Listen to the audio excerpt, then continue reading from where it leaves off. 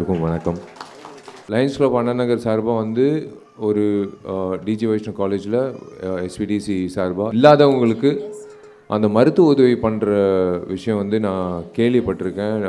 நிறைய முறை எங்கள் அறக்கட்டளை சார்பாக எங்களோட அரங்க ஹரியும் வந்து சொல்லியிருக்காப்புல. இந்த மாதிரி நிறைய விஷயங்கள் எங்களுக்கும் நம்மளுக்கும் நல்ல நிறைய பண்ணியிருக்காங்கன்னா ஒரு முறை வந்து அவங்கள போய் சந்திக்கணும்னு. நான் அதுக்காக தான் வந்தேன். சத்தியமாக சொல்கிறேன் மேடை ஏறினதுனால நான் சீஃப் கெஸ்ட் கிடையாது. மேடையோட இந்த ப இந்த விழாவோட சீஃப் கெஸ்ட் வந்து இதோ உட்காந்துருக்காங்களே அப்படி முதல் வரு வரிசையில் பின்னாடி இருக்கிற வரிசையில்.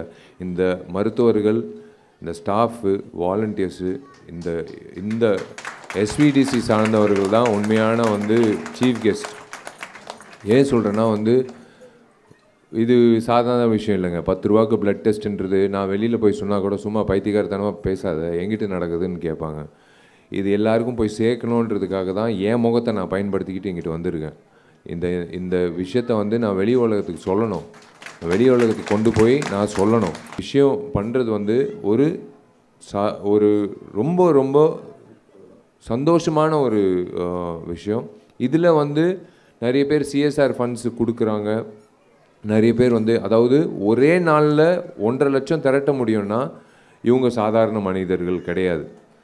கண்டிப்பாக வந்து உண்மையிலே நான் பெருமைப்படுறேன். அவங்களோட கூட உட்காந்து அவங்களோட வந்து இந்த இந்த மேடையில் அவங்களோட சேர்ந்து பேசுகிற பேசுகிறேன்னா உண்மையிலே எனக்கு பெருமையாக இருக்குது ஒரு தெரியாத ஒரு ஒரு பெற்றோர்களுக்கு வந்து அவங்க உதவி செஞ்சு இம்மீடியட்டாக ஒரே நாளில் வந்து அந்த அந்த தம்பிக்கு ஒரு வாழ்க்கையை கொடுத்துருக்காங்க. இல்லைனா என்ன எந்த பக்கம் போனோம்?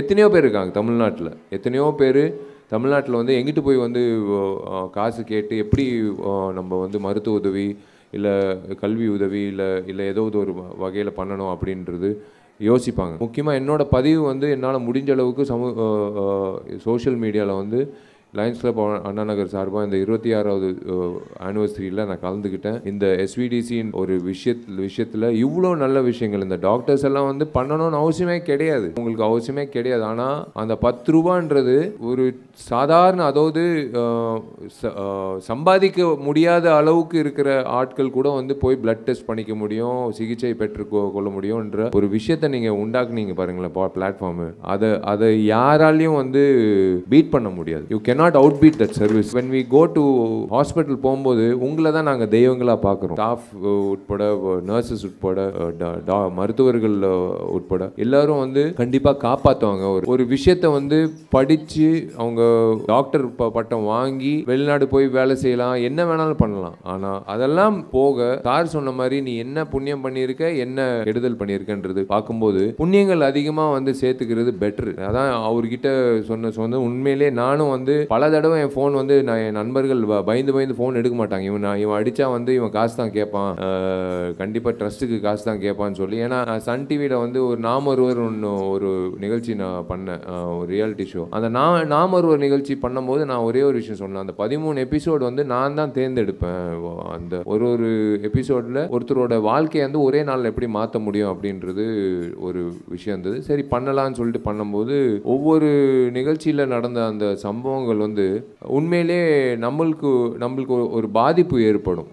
எனக்கு அந்த பாதிப்பு ஏற்பட்டுச்சு. இப்போ பன்னெண்டாவது எபிசோடு முடியறதுக்குள்ள. ஏன்னா choosing the best of the best is very easy choosing the best of the worst is ரொம்ப கஷ்டம். ஏன்னா ஒருத்தர் மட்டும்தான் நான் வந்து வாழ்க்கையை மாற்ற முடியும். ஆனால் ஒம்பது பேர் வெளியில் என் கேரவன் வாசலில் நிற்பாங்க சார் நாங்கள் என்ன சார் தப்பு பண்ணுவோம்? நாங்களும் அவங்கள மாதிரி தான் வறுமை கோட்டை கீழே இருக்கோம். எங்களையும் வந்து கொஞ்சம் காப்பாற்றுங்களேன் இப்படியெல்லாம் வந்து போயிட்டு இருக்கும்போது சரி அம்மா பேரில் தேவியார் கட்டளை அப்படின்னு ஆரம்பிச்சு நாங்கள் வந்து வந்து இத்தனை வருஷமாக வந்து ஏழை பிள்ளைகள் முக்கியமாக சிங்கிள் பேரண்ட் பெண் குழந்தைகளுக்கு வந்து படிப்பு படிப்புன்றது இப்போ பண்ணி அவங்களுக்கு எப்படியாவது கொண்டு சேர்க்கணும் அப்படின்றது எங்களோட நோக்கத்தில் வந்து நாங்கள் பயணிச்சுட்டு இருக்கோம். இந்த வருஷம் வந்து நாங்கள் ஒரு முக்கியமான முயற்சி எடுக்கிறோம். அது நீ- நீங்களும் நீங்கள் ஒவ்வொரு மாவட்டத்தில் சார்ந்தவங்க நீங்கள் இருந்தாலும் நீங்களும் சொல்லலாம். ஏன்னா ஒவ்வொரு மாவட்டத்தில் வந்து அந்த ஏழை கிராமத்து பிள்ளைகளுக்கு வந்து வாலிபாலோ பாஸ்கெட் பாலோ இல்லை கபடியோ இல்லை சிலம்பாட்டமோ இல்லை ட்ராக் அண்ட் ஃபீல்டோ நிறைய பேர் வந்து திசை தெரியாமல் வந்து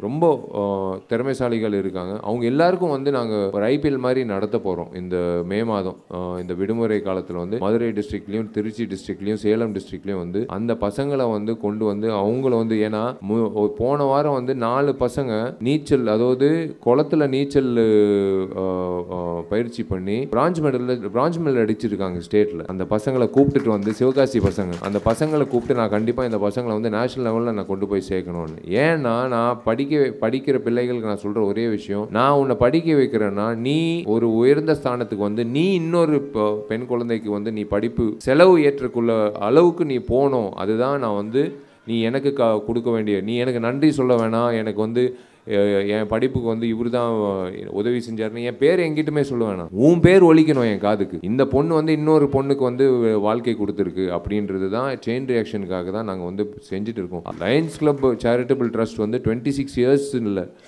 ஃபிஃப்டி டூ இயர்ஸ் ஃபிஃப்டி டூன்றது ஹண்ட்ரட் இயர்ஸ் கூட வந்து அப்படியே கண்டினியூ ஆகிக்கிட்டே இருக்கணும். ஏன்னா நிறைய பேர் வந்து வெளியில் வந்து இந்த மாதிரி ஒரு சேரிட்டபிள் ட்ரஸ்ட்டு இருக்குது இங்கிட்டு போனால் எங்களுக்கு ஒரு ஒரு எங்கள் வாழ்க்கைக்கு ஒரு வ- இரு- இருக்கும். ரொம்ப ரொம்ப நன்றி. நீங்கள் எல்லோரும் நல்லா இருக்கணும். தேங்க்யூ